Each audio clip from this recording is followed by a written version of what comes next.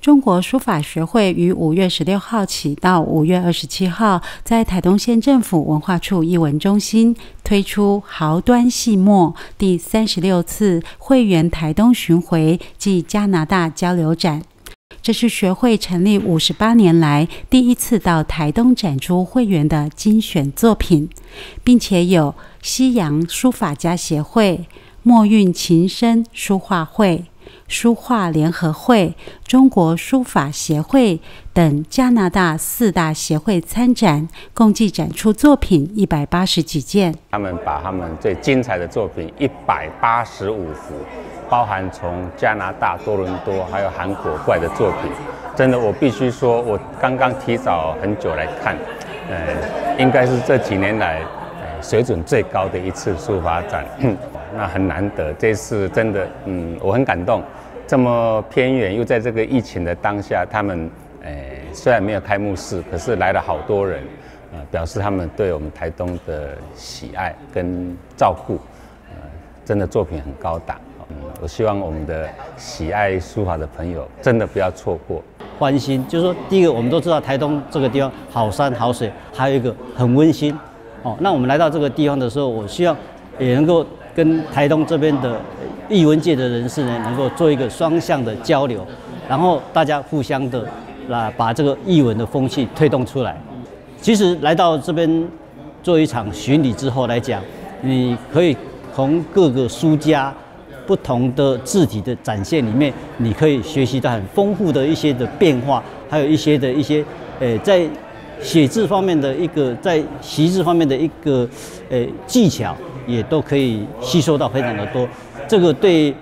台东当地这边来好，对各种喜欢这个这个书艺界的人士，其实都是一个互相很好的交流啊。这幅作品是本人呃所写的，这首诗它是李白的哦，就是说呃早发白帝城的一首诗。那这首诗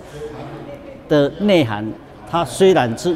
李白当时是要赶赶回去，他是用很心情快乐的方式。所以我在写这部书，我用的行书的方式去表现。那在行书的表现里面来讲，我让它有轻重的差别非常大。另外，我还有穿插的几个字是属于比较草书。那这个草书，我们采取线条的表现，比如说我们看那个环，哦，千里江陵一日还，我们就写的比较草书的写法。然后透过那个线条的写法，让它比较单纯化。然后接下来万，哦，万重山那个万也是草书的写法。那我们。就是试着在行书的架构里面，我们穿插了几个草书，而且用线条去简单的去表现的方式，那让这个整个的章面，这个整个的这个章面来讲，它会非常轻松的，然后非常有一种飘然的一种潇洒的意涵在里面。当年我们曹师公他教学生一个字要写上几百遍。没有经过他同意，你不能改第二个字，所以他要求他的学生哦，非常的严谨。所以，我们淡如义脉义脉的人，通常对书法的基础都粘得很这个扎实。所以我们能看，第一个字要中正啊，而且我们用的都是中锋，啊，很少用偏锋。第二个就是说，你你的每一笔。一定大部分都有变化，比如说我们这果子这个一竖下来，一般人就一下子就下来，但是我们要求是能够有粗细弯曲的变化，啊，它是让你这个字的内容更加丰富。我这个作品是王伟的这个行诶行书哈，然后因为我很我从小就很喜欢王伟的那个田园诗。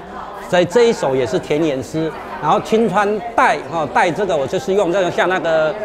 呃想到这个呃林怀民他有一次在跳那个云门舞集或者彩带那种的感觉，我就把它用在我的书法上面来带长布，然后我就把这个长，以人古人都会写长一点，我就故意把它写短一点，用表现这个彩带跟长的对比这样，然后用墨色来区别整张的这个。呃，书法的这种感觉，这样，很多人呢写篆书不知道为什么这样写，硬背这太辛苦了，所以从文字的源流开始。第二种说法是说，这个很多人都不认得，所以从楷书，楷书大家都认得，所以容易入手，啊，所以其实都可以，啊，隶书最容易，隶书都认得，而且笔法最简单，啊，像这个篆书，你就是中锋，中锋，啊，笔法没什么变化，但是字体的结构比较困难。各位看我们这次的展览，真草隶篆，各种简帛书都有，所以每个人写的都有不同，哪一个人好，看你欣赏的人。这次到台东了，我觉得非常喜欢台东，山明水秀啊，真的很漂亮哈，很漂亮。这个慎独啦，这个叫慎独啊，慎独它这个句子是取到中庸。我这里最下面的哈，就来诠释慎独的来出处，而且这个这是古里面的诠释的内文啊。那这个线条部分哈，呃，我是有做一点动作了哈，就是说我把这个纸，你看有没有皱皱的，有没有？这个不是笔杆，我皱皱的，我就有把那个宣纸有稍微揉了一下，折折皱，然后再去写的，就借这个东西，这这些名言哈，好家具来提醒我们自己的个人的修为哈，呃，要要从这个方向去去去去执行，这样子，这就是修身嘛。一九六二年成立的中国书法学会是国际书法家联合总会在台唯一的代表，长期以来代表台湾积极从事国际书艺交流，会员遍布全台湾地区及金门、澎湖，已达一千一百多位会员。总部办公室在台北，另外设有二十一个县市服务处。五月十七号上午，许多嘉宾与艺坛人士到场欣赏。叶国华理事长特别邀请台东大学人文学院院长林永发与纳罗湾集团总裁林延煌担任学会的顾问，也感谢学会在台东县的服务处主任周仁祥与台东县书画教育学会顾问李国阳老师辛苦的策展。让展出能够圆满顺利。台东所。